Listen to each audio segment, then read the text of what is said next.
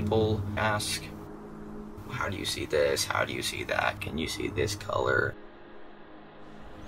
I've had people straight up think I'm lying about being colorblind.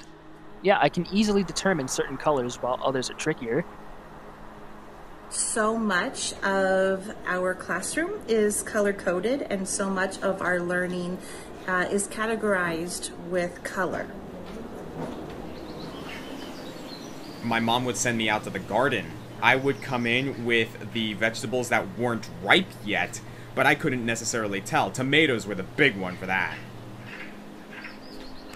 It does become pretty difficult to deal with since I'm an artist, so sometimes I'll just ask a friend or family or just text someone.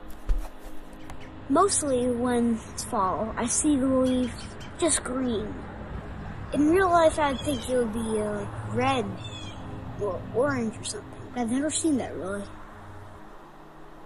There are certain stoplights that cannot be told apart from someone who's colorblind. Green light actually looks so unbelievably bright to me, it just looks white.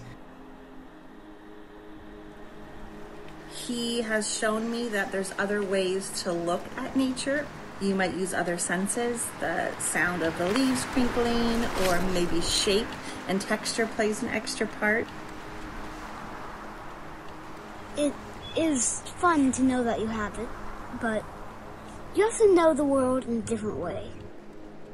I do wish that people understood that color blindness is not as simple as, oh, they're colorblind, they see in grayscale. There are multiple different color blindnesses, but people just tend to think that there's just one.